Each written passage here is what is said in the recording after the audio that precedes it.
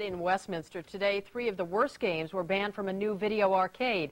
And as Vicki Vargas tells us, some there are relieved, others aren't so sure. Parents are often the first to ask, could this lead to this? In Westminster, police and planning commissioners say yes.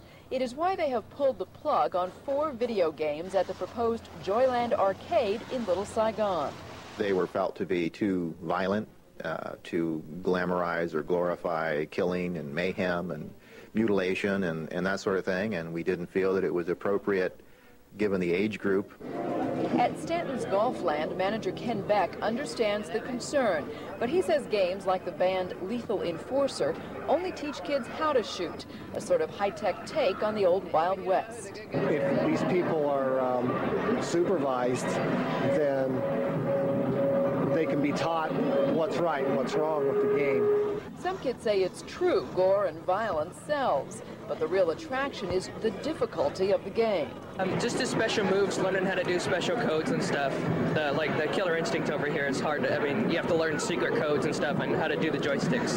Also on the banned list, Virtua Fighter. Even joystick junkies say it doesn't matter where they put their tokens.